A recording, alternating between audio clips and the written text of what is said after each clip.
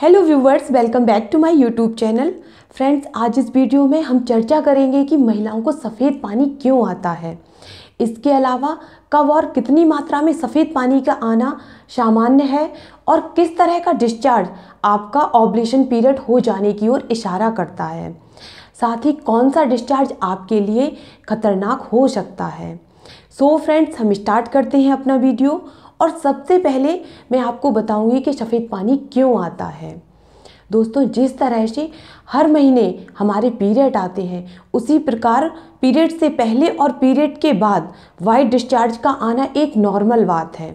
और ऐसा होना बेहद आवश्यक भी है, क्योंकि वाइट डिस्चार्ज प्राकृतिक तरीके से आपके प्राइवेट पार्ट को क्लीन रखता है। यह इंटरकोर्स के दौरान चिकनाई प्रदान करता है और प्राइवेट पार्ट में इन्फेक्शन नहीं होने देता। जब आपकी बॉडी में प्रोजेस्ट्रॉन हार्मोन की मात्रा बहुत ज़्यादा बढ़ जाती है, यानी कि चरम सीमा पर पहुँच जाती है तो अधिक मात्रा में सफ़ेद पानी आपके शरीर से बाहर निकलने लगता है। कई बार महिलाएँ अधिक स्राव की वजह से परेशान भी हो जाती हैं। फ्रेंड्स यदि आप प्रेग्नेंट हैं या फिर अधिक स्ट्रेस ले रही हैं और खान पान में परिवर्तन के कारण। पोषक तत्वों की कमी की वजह से हार्मोन्स में बदलाव आ जाता है। इसके अलावा आपके प्राइवेट पार्ट में किसी प्रकार का इन्फेक्शन हो गया है तो इसकी वजह से भी डिस्चार्ज की मात्रा कम या फिर अधिक हो सकती है। चलिए तो अब हम बात करते हैं कि किस तरह का डिस्चार्ज नॉर्मल होता है।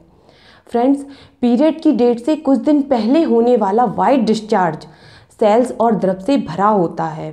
इसका रंग सफ़ेद, हल्का पीला, गाढ़ा, पतला हो सकता है। और उसमें किसी तरह की स्मेल नहीं आ रही है। साथ ही आपको खुजली, जलन या आपके प्राइवेट पार्ट में और कोई समस्या नहीं हो रही है तो इस तरह का डिस्चार्ज नॉर्मल माना जाता है।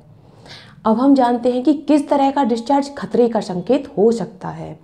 यदि आपको अधिक डिस्चार्ज हो रहा है और उसमें स्मेल आ रही है, साथ ही आपके प्राइवेट पार्ट में खुजली हो रही है, जलन या फिर रेडनेस हो रही है और आपकी प्राइवेट पार्ट की जो स्किन है वो कटी कटी सी हो गई है तो यह डिस्चार्ज बैक्टीरियल इन्फेक्शन के कारण हो सकता है। ऐसे में आपको तुरंत डॉक्टर से कंसल्ट करना चाहिए। फ्रेंड्स चलिए तो अब मैं आपको बता देती हूँ कि ऑबलेशन के टाइम पर किस तरह का डिस्चार्ज होता है। वाइट स्मेल फ्री और पतला या गाढ़ा वाइट डिस्चार्ज पीरियड आने का संकेत भी हो सकता है। लेकिन अगर पीरियड होने के बाद यह क्रीमी सफ़ेद डिस्चार्ज खिंचा हुआ और थोड़ा मोटा होना शुरू हो जाए तो आमतौर पर यह इस बात का संकेत देता है कि आपकी बॉडी में ऑबलेशन हो रहा है। ऑबलेशन वह समय होता है जब आपकी बॉडी में एग रिलीज़ होता है। उस समय यदि आप रिलेशन बनाती हैं तो प्रेग्नेंट होने के चांस सबसे ज़्यादा होते हैं। फ्रेंड्स मैं आपको कुछ ऐसे उपाय बताती हूँ जिससे कि आप अधिक वाइट डिस्चार्ज होने की समस्या से निजात पा लेंगी। तो पहला उपाय बार बार एवॉर्शन करवाना। यानी कि आपको बार बार एवॉर्शन करवाने से बचना चाहिए। यदि आप नए नए पुरुषों के साथ रिलेशन बनाती हैं तो ऐसा करने से आपको बचना है। क्योंकि इन कारणों से भी अधिक स्राव होने लगता है। दूसरा उपाय, आप बिना डॉक्टर की परामर्श के किसी भी प्रकार की मेडिसिन का प्रयोग मत करें अपने प्राइवेट पार्ट की जो प्रॉब्लम है उससे छुटकारा पाने के लिए। तीसरा उपाय, आप प्रतिदिन अपने भोजन के साथ 100 ग्राम दही का सेवन अवश्य करें, क्योंकि दही में रोगाणुओं से लड़ने की क्षमता होती है, जो शरीर में संक्रमण को कम करती है।